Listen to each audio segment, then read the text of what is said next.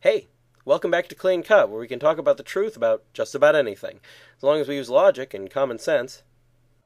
This season, we're looking at some additional issues that I've seen brought up in various comments, replies, and requests, but which I haven't already done videos on.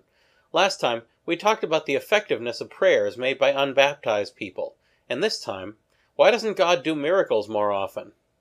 Well, in order to understand this question, we first need to know what miracles are. There are a few different definitions, but the first one at Merriam-Webster will do for our purposes.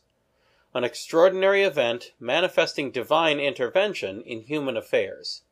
In short, something that A doesn't normally happen and B implies action by God.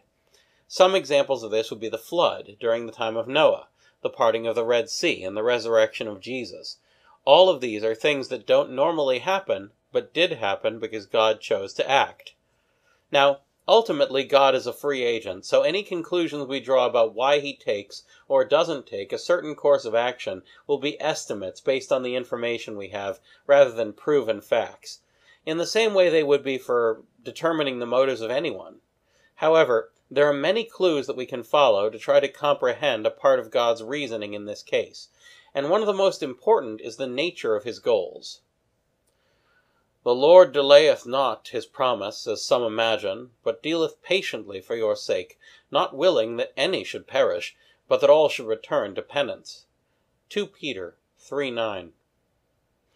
Is it my will that a sinner should die, saith the Lord God, and not that he should be converted from his ways and live? Ezekiel eighteen twenty three. Turn ye, turn ye from your evil ways, and why will you die, O house of Israel? Ezekiel 33:11b. Here we see someone who is willing, even eager, to save everyone, but who nonetheless is faced with the reality that not everyone is willing to be saved. Some people simply won't accept his help, or refuse to face the reality of his existence, or what that means for them. This means that God is more likely to take the actions that he needs to take in order to save as many souls as he can but is also able to recognize when a certain course of action won't be helpful and avoid it. Now, there's an interesting comparison that can be made here. Miracles are things that don't normally happen. Is there anything that God does for people which would be miraculous if it happened less often? All expect of thee that thou give them food in season. What thou givest to them, they shall gather up, when they openest thy hand. They shall all be filled with good. But if thou turnest away thy face, they shall be troubled.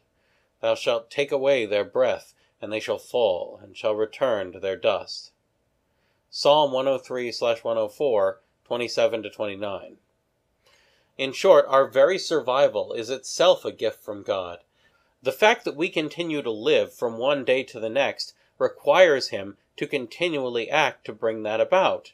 So why doesn't this have the impact on us that parting the Red Sea did? In both cases, God isn't visible, and in both cases the effect is visible, but we can't see the cause of the effect or the connection between the two with our senses. So, what makes these two things different from each other? The answer is that one of them, human life, is something we see every day, while the parting of a large body of water like the Red Sea isn't. This shows us that as human beings, we tend to grow accustomed to things we see on a regular basis, to the point of taking them for granted.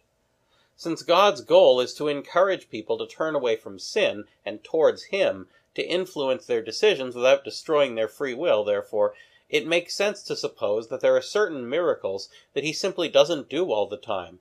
This is because, if He needs to encourage people to change quickly, shock them into reforming their lives, he has to have some event that doesn't happen all the time, and which therefore people aren't taking for granted, but which he can bring about whenever he wants to. This is exactly what miracles are.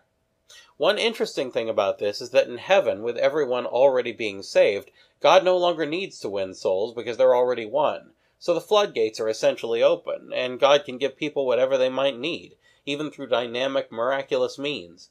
This is important because many people can't find fulfillment in a life of normal events. With their soul saved, the freedom to be given true fulfillment by God can be restored to them. In heaven, God can provide what people need and desire and still have 12 baskets left over. Next, what reasons do we have to believe in the death of Jesus? That's all for now, so keep asking questions, and thanks for watching.